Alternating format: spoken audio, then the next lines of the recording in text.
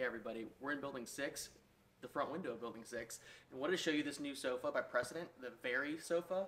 Vari, I'm sure there's a different way to pronounce it, but a little bit smaller scale, and I really like, obviously the velvet really does well with this, uh, this frame, but if you see, doesn't really have arms, but almost sort of this, you know, curved back kind of cuddle area, so kind of versatile, a little bit more space than you would think, uh, given the size. Nice tight back, don't have to worry about a bunch of cushions. You could even change these pillows to add a, a pop of color.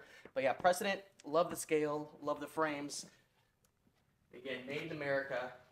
And then we have the Suzette swivel, a little bit more of the bouc- boucle fabric, and again, a little bit smaller scale, but supports you and sort of has a little bit more of the architectural sort of feature with the uh, space in the bottom and even at the back, how that goes down to kind of showcase this piece. So really fun, uh, a lot of different organic forms and, and profiles from Precedent.